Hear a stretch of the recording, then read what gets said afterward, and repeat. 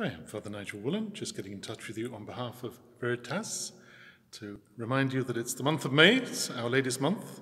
So she's here with me, as you can see, in my parish church, and she always brings Jesus into our lives. So if you think about praying the rosary this month of May, it's a good thing to do. You know, the, the actual rosary without the trimmings only takes about 15 minutes, and it's a great family prayer. And Pope Francis has really encouraged us to pray the rosary in this month of May at this very difficult time with the coronavirus pandemic. And he's also written two beautiful prayers that you can find online to help us to turn to Mary in this time.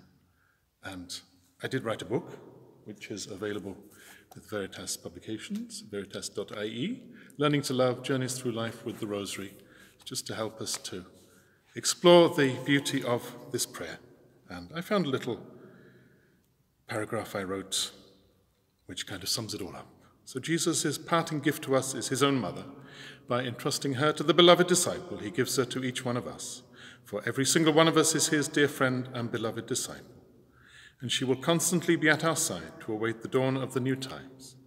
Her quiet presence gives us a glimpse of the fulfillment when our world will finally be what God wants it to be a place of light and love, joy and laughter.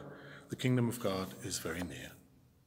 So in difficult times, we call on the Lord's help, and we know that when we call on him with Mother Mary, she will bring all our prayers to her divine Son.